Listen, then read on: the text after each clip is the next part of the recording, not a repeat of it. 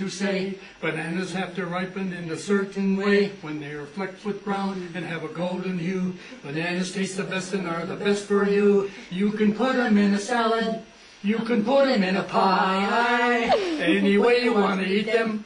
It's impossible to beat them. Now, bananas are the product of a very, very tropical equator. So you should never put bananas in our refrigerator. No, no, no, no.